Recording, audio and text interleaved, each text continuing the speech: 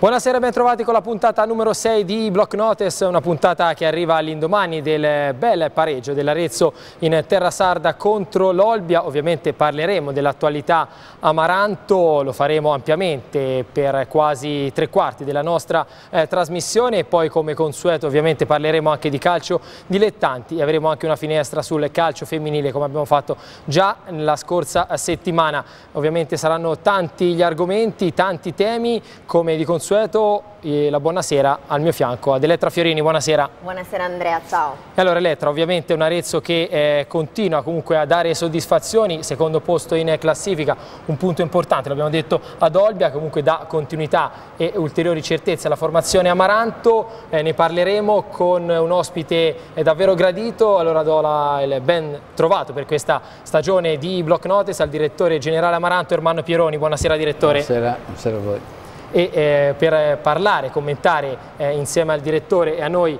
l'attualità Amaranto, il collega della Gazzetta dello Sport Marco Piga. Buonasera Marco. Buonasera Andrea, buonasera a tutti. E allora, prima di andare a vedere la scheda di Andrea Vato che ci introduce ai temi eh, di questa puntata, in salsa Amaranto ovviamente, eh, direttore, quanto vale il punto di Olbia? Ecco, io uh, fa piacere che tu abbia detto il bel punto, perché è stato un punto sofferto contro una squadra eh, a mio avviso con due attaccanti veramente forti, forse migliori, dopo quelli che ho visto della Cararese e, in questo girone. Non era facile, eh, un terreno di gioco tra l'altro molto infido, non regolare, eh, una squadra che secondo me darà filo da torcere a tutti e quindi strappare questo risultato positivo, continuare la nostra serie, non prendere la gol è la sesta partita che e questo è un dato poi che, che analizzeremo eh, questi sono i numeri che parlano con un Pelagotti che eh, dire, si conferma grande protagonista. Diciamo non solo lui ma l'intero reparto arretrato quindi mh, io sono contento di questo risultato devo dire la verità. Certo la gente sogna tutti sogniamo non costa niente è chiaro che ogni settimana vinceva, che va avanti la gente sogna sempre leggo, di più però credo che il segreto dell'Arezzo può essere solo quello di rimanere sempre con i piedi per terra.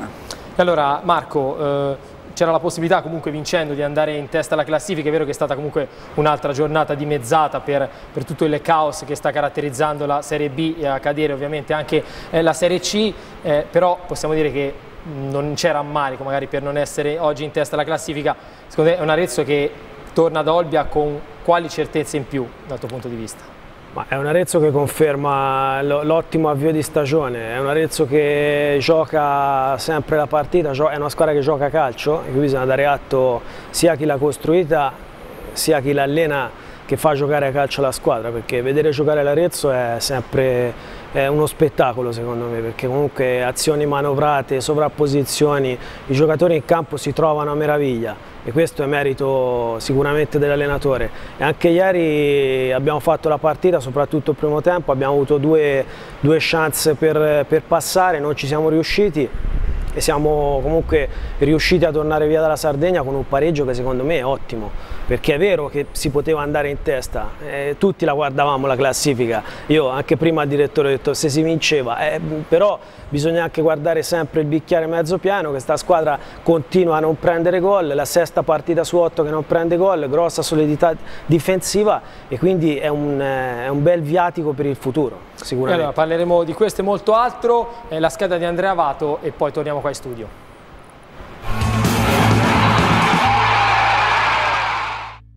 Il primo posto era di nuovo lì a portata di mano come dieci giorni prima ad Alessandria, ma l'Arezzo ha mancato di nuovo il sorpasso al vertice, con la Juve B aveva perso, pur senza meritarlo, a Olbia ha pareggiato, questo però non sposta il giudizio su una squadra che continua a indirizzare le partite anche quando non le vince. In Sardegna, di fronte a un avversario su di morale, giovane, di qualità e armato di due punte forti come Seter e Ragazzo, l'Arezzo ha costruito, sofferto, attaccato e stretto i denti. Ha provato a proporre gioco, palleggiando finché le energie, gli avversari e un terreno non proprio perfetto gliel'hanno consentito. Poi è stata attenzione, concentrazione e il solito cuore che in questo avvio di campionato non è mai venuto meno. È mancato il guizzo finale, la giocata sbroglia Matassa negli ultimi 20 metri, il colpo di genio di Bellone Belloni, stavolta più croce che delizia. Troppo isolati i due attaccanti, meno efficaci gli inserimenti dei centrocampisti, ma ci sta. E comunque di occasioni nitide ce ne sono state per un Arezzo a cui sarebbe inverosimile chiedere di essere uno schiacciasassi in casa e fuori. I numeri restano molto positivi, ben superiori alle aspettative. 15 punti in 8 partite disputate, 6 gare senza gol al passivo. Secondo posto in classifica sono dati che la dicono lunga e che certificano il buon lavoro fatto in estate.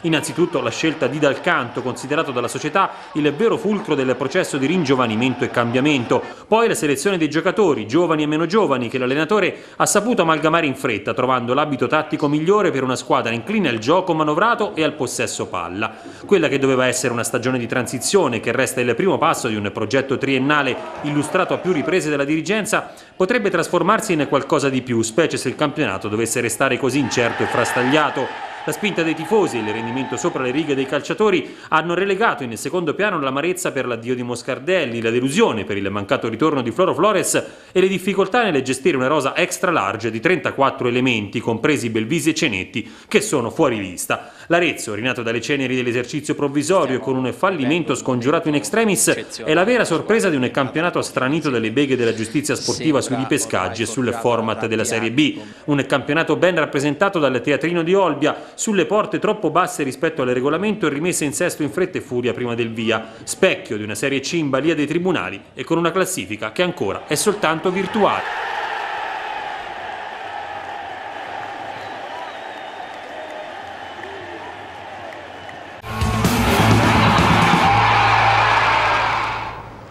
Tanti temi toccati nella scheda da Andrea Avato. Prima di tornare eh, a parlare eh, di Arezzo, eh, direttore, Avato ha chiuso dicendo una classifica che è ancora soltanto virtuale. Cioè, speriamo che domani si possa mettere finalmente la parola fine a questo caos, anche perché è un campionato, voglio dire, che ad oggi rimane incompleto, monco con tante partite che non si disputano. È vero che l'Arezzo sta facendo il proprio percorso, però eh, ci auguriamo finalmente di poter mettere la parola fine a, a tutto questo teatrino dell'assurdo. Ma se lo augurano tutti, gli sportivi, chi ama il calcio. Sicuramente domani il Consiglio federale ha la possibilità di mettere la parola alla fine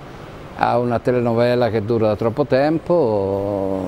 degli errori in passato eh, sono stati commessi, soprattutto nel momento in cui è stato cambiato il format della Serie B da 22 a 19, probabilmente non, erano,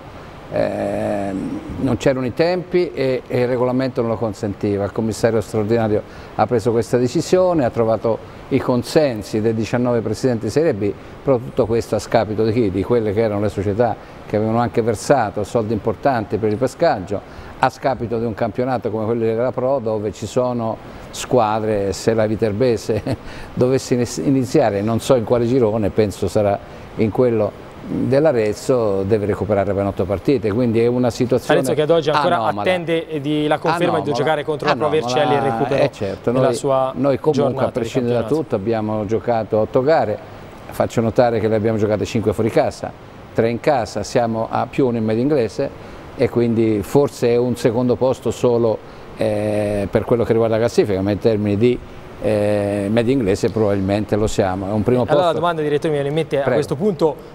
non si può pensare solo alla salvezza perché è una squadra che può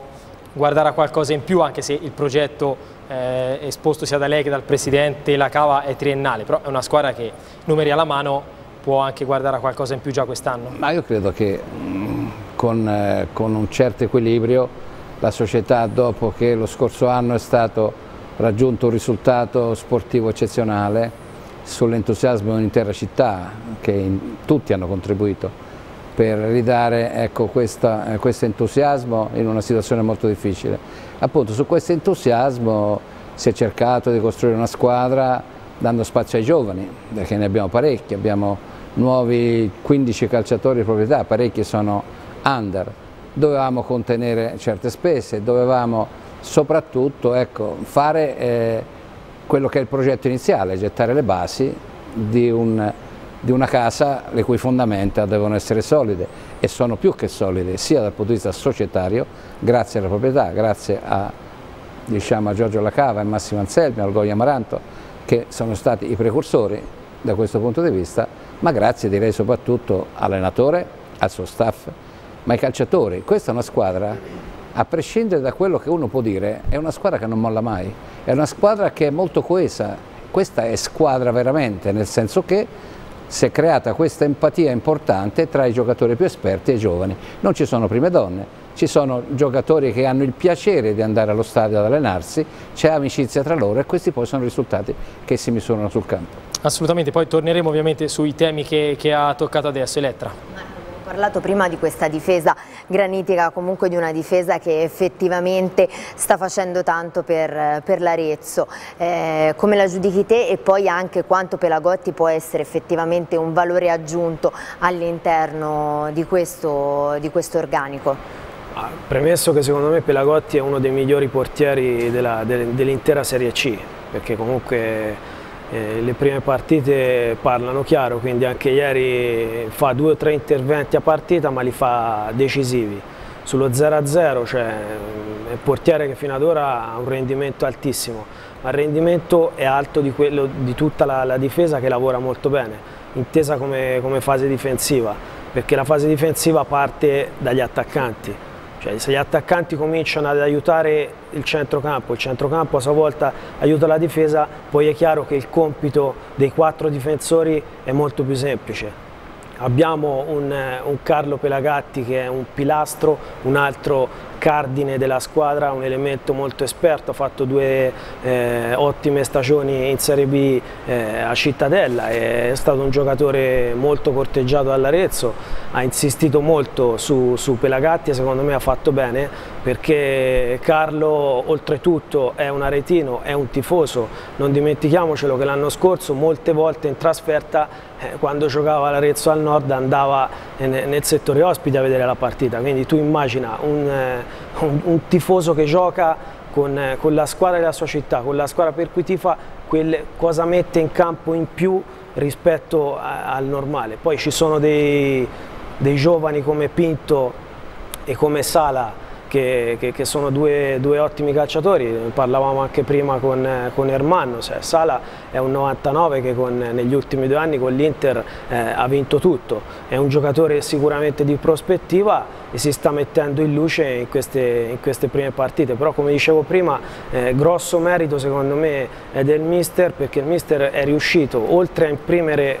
una bella eh, fase difensiva proprio a dare un gioco, a dare un'identità alla squadra. Io eh, quando sono uscito da, da, dallo stadio di Pisa la seconda partita ho detto mamma mia, dico questa squadra, è, questa squadra è forte, perché una squadra che riesce ad andare a Pisa con quel pubblico, con quell'atmosfera, a imporre il gioco per tutti i 90 minuti, credo che in poche squadre se lo possano permettere. Quindi è, giusto, quindi è giusto, è giusto sognare, ora eh, è chiaro che eh, chi, chi, fa parte della società fa bene a gettare acqua sul fuoco, è giusto non caricare troppo la squadra, però... Però ecco Marco, eh Parlare di salvezza a questo punto secondo te rimane riduttivo? Ma io secondo me non parlerei di salvezza, io parlerei di una squadra che, che gioca spensierata, senza pressioni, senza pensieri, deve affrontare tutte le partite come bisogna vincere perché sennò si retrocede, cioè domenica qualcuno devono andare in campo, bisogna vincere perché sennò si retrocede e, e si vince, se si caricano troppo di responsabilità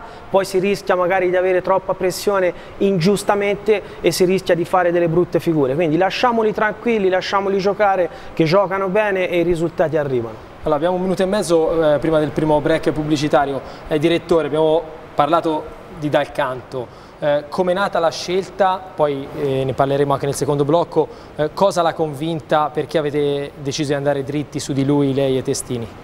Ah, noi abbiamo aspettato direi tantissimo perché il mister prendesse una decisione favorevole. stava giocando la fase finale dei playoff del campionato primavera. Io ho avuto un primo incontro a Bologna con lui, eh, ricordo che lui prese tempo, poi le cose si sono messe in maniera tale per cui in un incontro successivo che abbiamo avuto poi a Milano con il Presidente della Cava, con Emiliano Testini e il sottoscritto, siamo arrivati a definire l'arrivo di questa persona che comunque oltre a quelle che sono a mio avviso le doti eh, professionali, tecniche, diciamo anche del, a me come persona piace moltissimo, una persona con la quale si può dialogare, è un aziendalista, è una persona che eh, ha una cultura del lavoro importante e, e gode di uno staff anche perché vorrei anche citare i collaboratori che ha, perché ha tre collaboratori bravissimi e quindi diciamo uno staff veramente primo livello. Questo. E la sensazione che anche per lui questo possa essere un anno importante, no? comunque il progetto Arezzo, anche da come lo, lo sentiamo parlare, eh, lo sente appunto proprio, si è calato eh, sì, in questa realtà, eh, la voglia comunque di, di vincere eh, in questa città. Si trova benissimo ad Arezzo, eh, ne parlavo proprio ieri, ho avuto una lunga chiacchierata con lui prima della partita, ha un contratto triennale con l'Arezzo e quindi fa parte del progetto, è la pietra miliare di questo progetto che insieme si è costruito e quindi al di là di quello che saranno poi le sirene, perché ci saranno, perché già è normale che un allenatore così giovane, con i trascorsi che ha, facendo uh, giocare la squadra bene, la partita poi con il Ponte d'Era è stato veramente uno specchio importante per tutta la squadra per l'allenatore, probabilmente perché no ci saranno anche delle attenzioni, ma penso che eh, il fatto che lo abbiamo blindato con un contratto di tre anni e che lui si trovi bene ecco, è l'inizio di un progetto che deve veramente portare l'Arezzo a livelli importanti, ma non solo dal punto di vista dei risultati sul campo, che quelli ovvio che ricerchiamo domenica dopo domenica, ma anche in funzione di quella che deve essere la struttura societaria, la forza di una società che deve crescere, di quelle che saranno le strutture che in questo momento purtroppo nonostante tutti gli impegni finanziari non sono ancora all'altezza e quindi diciamo da questo punto di vista c'è molto lavoro ancora da fare. E allora continuerò a parlare con eh, Ermano Pieroni e Marco Piga, adesso pubblicità e poi tra poco la seconda parte di Block Notice.